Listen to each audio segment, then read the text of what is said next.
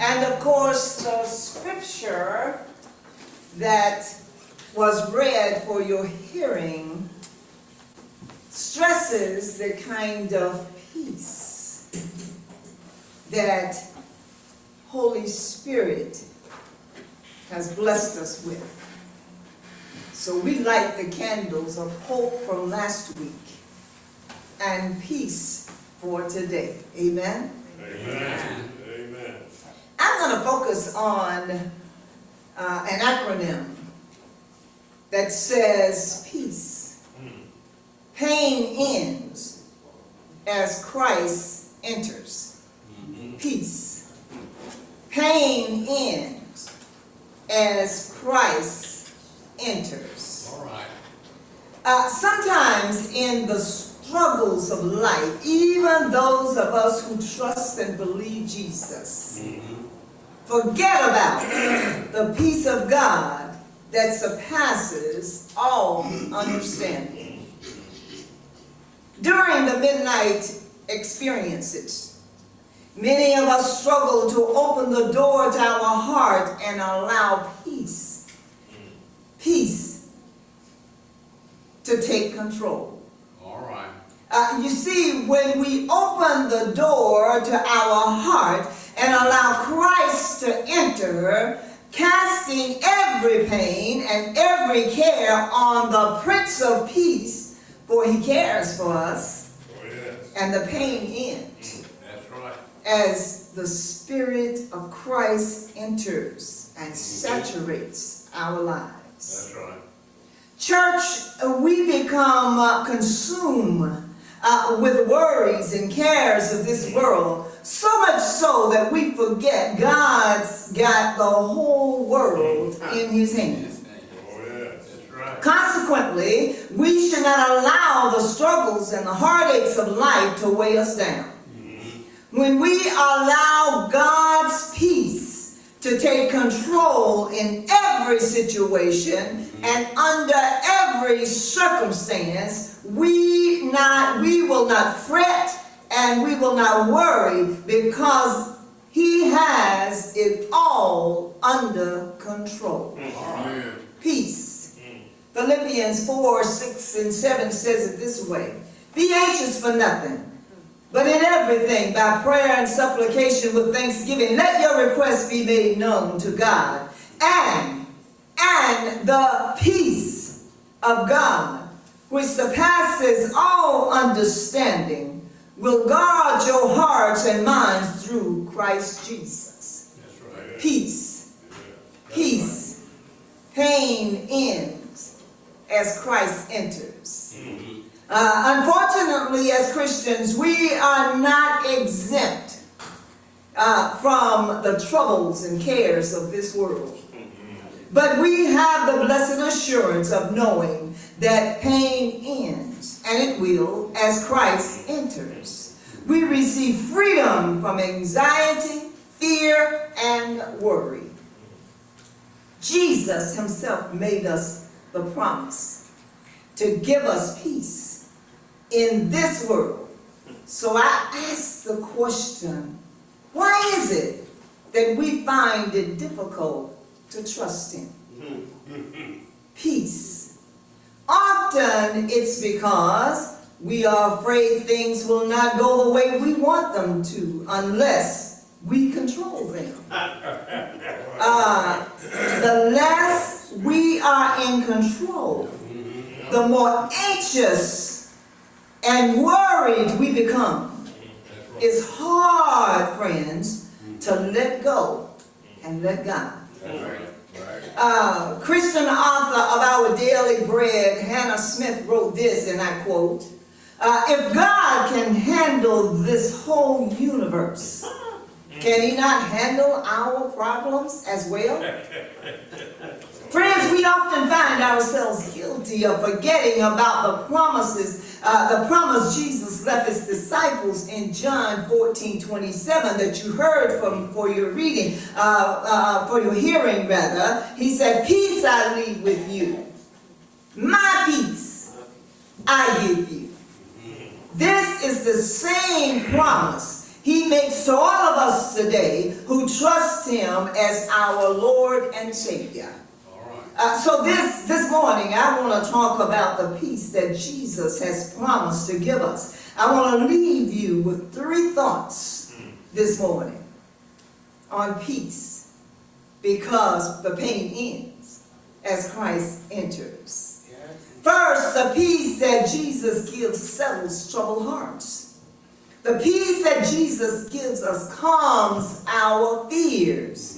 This is not the peace that the world gives, which does not last, but it is fleeting. When Jesus gives us something, he does not take it back. Uh, you can take, huh, you can take him at his word. That's right. Peace, pain ends as Christ enters. The songwriter, the songwriter says it this way: Trust him and never doubt, right. for he will surely bring you out. Yes. Take your burdens to the Lord and do what? Lead them there.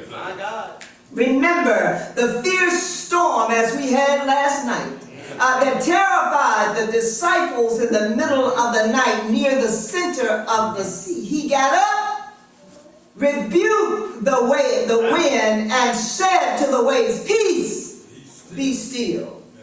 Then uh, the wind died down, and it was completely calm. Uh, Mark 4:39. Uh, believe me, when Jesus speaks peace to your situation, you can say, It's done. It's done. It's done. The second point I want to leave with you this morning is that obedience brings peace. No one can ever be sinless in this life. But God promises that what you have learned and received and heard and seen in me, practice these things, Paul says, and the God of peace will be with you. Right. Philippians 4 and 9. In fact, peace comes from living an obedient life, uh, not a perfect life. Right. And it is one of the fruits of the Spirit. Galatians 5 and 22. Finally, finally, talking about peace. The acronym peace. Uh, pain ends as Christ enters. God has already made peace with us. Romans 5 and 1 says it this way. Therefore, since we have been justified by faith, we have peace with God through our Lord and Savior Jesus Christ. If you have been born again, we should realize that God is already at peace with us through Jesus' death on the cross. The only way, the only way we can experience this peace of God that surpasses all understanding and all human understanding, let me add, is through the blood of the cross. The blood that shed, that Jesus shed for us. This is because he himself is the Prince of Peace mm, peace. He died, yes. He died on the cross so that uh, he might reconcile us both to God in one body through the cross, thereby killing the hostility. And that was why he came and preached peace to those of us who were far off and peace to those who were near. All right. Ephesians 2 16 and 17. When we never have the peace, we can never rather have the peace of God until we have made peace with God. Remember, it is through the God of peace that we can have peace with God. And as Jesus said in John 14 27, peace I leave with you. My peace I give you, not as the world gives you. Let not your heart to be troubled, neither let it be afraid. Friends, we will never ever experience true or lasting peace until we let go and let God.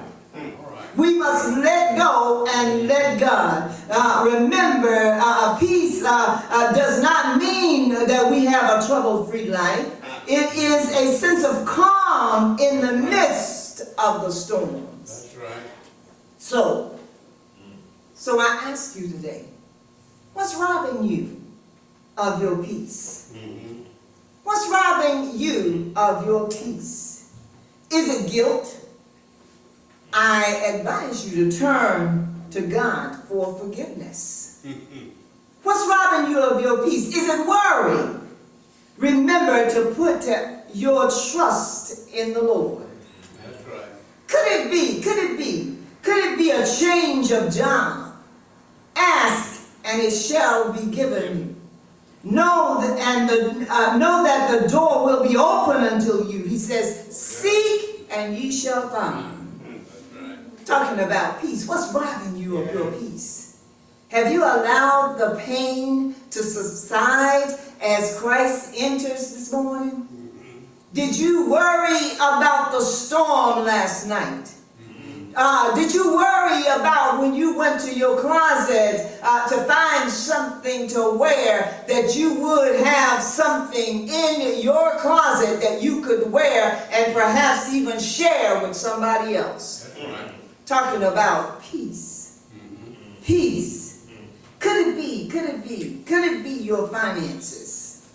The Bible says the cattle on a thousand hills belong to God. He will make a way out of no way. Talking about peace because the pain of whatever the situation is, it ceases as Christ enters. Uh, uh, could it be? Could it be uh, with the news, social media? Could it be these political issues that's robbing you of your peace? Remember, God is in charge of everything, and that includes our politics. That's right. Uh, are you are you allowing the fight over immigration issues to rob you of your peace? Uh, did you allow the the the the, the vote uh, uh, against Roe v. Wade? And the gun laws that have not been placed and put in place uh, to, to protect the people rob you of your peace. Is it issues? Is it the issues of black and white, straight and gay, uh, religious and un- the, uh, the believer and the unbeliever? What has caused you to lose your peace? The Bible says the devil comes to do what? Kill, steal, and destroy. That's right. Are you allowing it to rob you of your peace? Could it be the state of our beloved country uh, where many are struggling to find affordable health care uh, and adequate housing, uh, enough food to eat? The people of God do not allow these worldly matters to steal your peace. I tell you, I tell you, the writer of Second Chronicles 7 and 14 says it this way. If, there's that letter, my mama would say, that crooked letter. If my people who are called by my name would humble themselves and pray and seek my face and turn from their wicked ways, then I will hear from heaven and I will forgive their sin and heal their land. All right. There is peace in God's presence. There is peace because the pain in as Christ enters. That, my friend, is real peace. It's real peace. Are you set? Perhaps somebody in this room to undergo major surgery. Remember, Jesus is the doctor that never lost a case. Pain ends as Christ enters. Open the door in this morning. Have you lost your peace because of the state of world affairs and corruption in high places? Romans 8:31 reminds us, if God is for us, who who who can be against us? Talking about peace, pain ends as Christ enters. As I close this morning, church, I'm so glad that I can talk to Christ Jesus, uh, the Prince of Peace, about all things and all situations that's trying to steal my peace. The God of all peace wants to give you peace.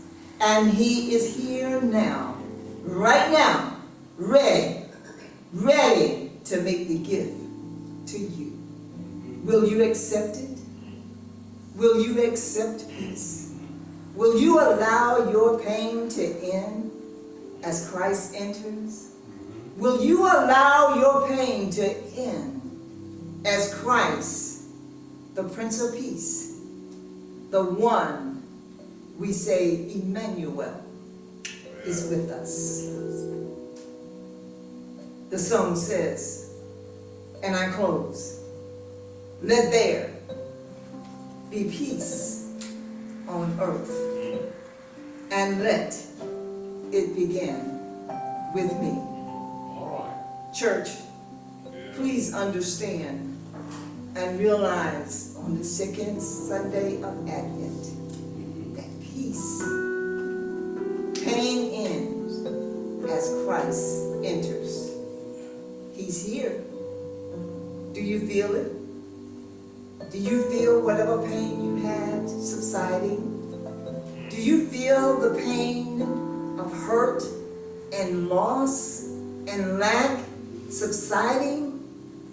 Do you feel the pain that you may have for thinking of yourselves more highly than you ought? Dissipate because Christ has entered. Peace. Let there peace on earth and let it begin with you and you and you and me. Amen. Amen. And amen. To God be the glory.